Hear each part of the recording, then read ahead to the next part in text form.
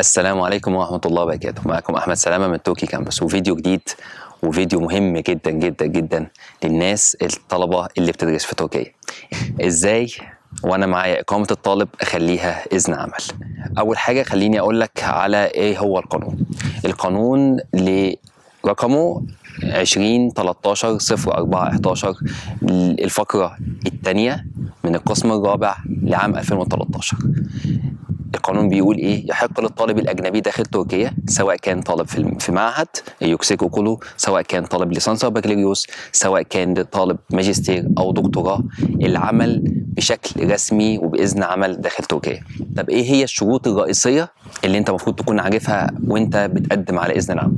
أول حاجة ما يكونش سنك أقل من 18 سنة. تاني حاجة بالنسبة لطلبة المعاهد وطلبة البكالوريوس أو الليسانس يكون عدى سنة على دراستك داخل تركيا.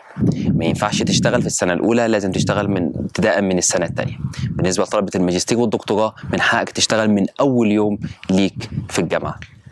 وطبعا إقامتك لازم يكون فيها ست شهور أو أكتر. طيب أنا دلوقتي حاليا لقيت شغل. وعايز أقدم على إذن العمل. هل إذن العمل بيلغي إقامة الطالب؟ لا لا يلغيها نهائيا. ولكن بعد ما يتم إصدار إذن العمل ليك إقامة الطالب ممكن من الممكن إن وجود إدارة أو إدارة الهجرة والأجانب إن هي ما توافقش على تجديد الاقامه إقامة الطالب ليك. لذلك دايما احرص إن أنت يكون معك إقامة الطالب بتاعك. لو أنت ليسانس أو بكالوريوس تكون بالأربع سنين أو بالخمس سنين أو بالست سنين لو أنت طالب في, كلية الطب. ولو ماجستير هتطلع لك بحوالي ثلاث سنين لو أنت دكتوراه هتطلع لك بحوالي أربع سنين. فبالتالي مش هتحتاج تجددها طوال الفترة دي. وينفع تمشي بإقامتين اتنين اللي هي إقامة الطالب وإذن العمل. الشيء الثاني أو الجزء الثاني أو المهم في القانون هو إن طالب المعهد وطالب الليسانس والبكالوريوس من حقهم يطلع لهم إذن عمل في حالة إن هم هيشتغلوا في شركة بدوام جزئي part time ويكون مكتوب جوه العقد بتاعهم الجملة دي إن هو بيشتغل بدوام جزئي وفي نفس الوقت 24 ساعة في الأسبوع. ما تنساش تخلي الشركة تكتب لك الجملة دي في العقد لأن من غيرها إذن العمل هيترفض. بالنسبة لطالب الماجستير وطالب الدكتوراه لأ أنت ينفع من حقك تشتغل full time ودوام كامل من أول يوم ليك في الدراسة زي ما أنا قلت. إيه هي حقوقك بعد ما يطلع لك إذن العمل؟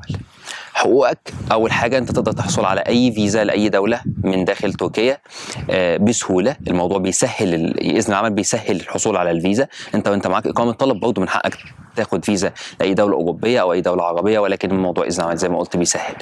تاني حاجة أنت مرتبك بينزل لك على البنك.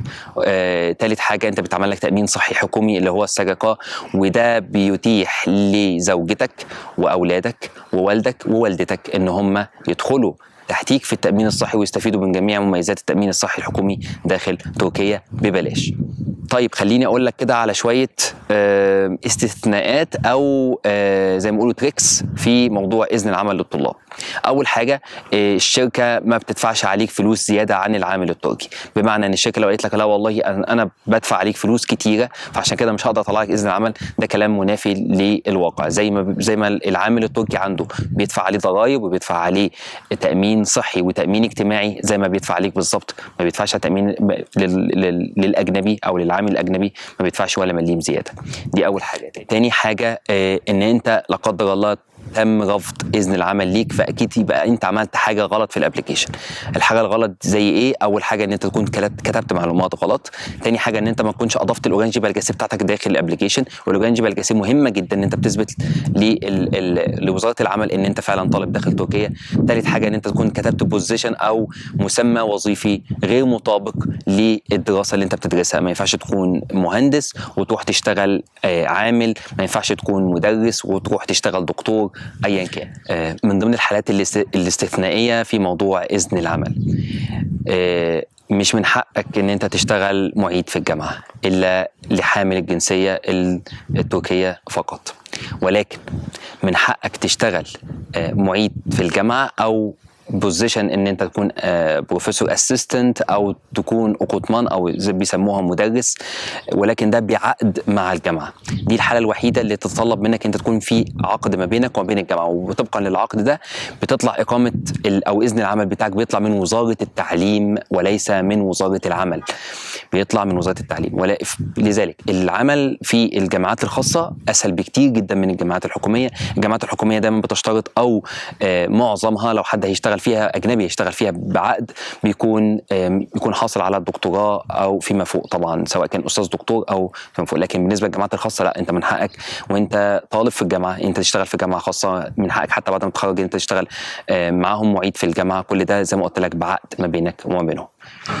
طيب آخر حاجة أكلمك فيها هو موضوع المرتبات وده دايما الحجة اللي دايما اللي بتستند عليها الشركات إن هي ما تقدرش تقول للطالب إن أنا مش هقدر أطلع لك إذن عمل. آه، أول حاجة ما تحولش إقامتك الطالب الإقامة السياحية ما تعملش كده ابدا زي ما قلت لك أنت من حقك تشتغل بإذن عمل وبشكل رسمي داخل تركيا. تاني حاجة بالنسبة لموضوع المرتب لو أنت هتشتغل في شركة أقل شيء هتاخده هو 2020 ليرة اللي هو أص... اللي هو الأصغر الأجرات أو آه، الحد الأدنى للمرتبات داخل تركيا. ده بيكلف الشركة كام؟ أو الشركة بتدفع كام فعليا 2500 550 ليرة. فبالتالي أنت هتاخد آه، ليك أنت 2020 ليرة والشركة هتدفع 2550 ليرة. لأن في طبعا بعض الناس تقول لك أنا بدفع ضعف آه، المرتب أو ما ما ما يقارب نفس قيمة المرتب. وده كلام آه، منافي للواقع. في تفصيلة كبيرة جدا لموضوع ال- الضرائب والتأمينات اللي الشركة بتدفعها عنك. لكن على سبيل المثال أنت بتدفع 14% آه، ضريبة دخل الشركة بتدفع عليك 15% آه، للسرقة.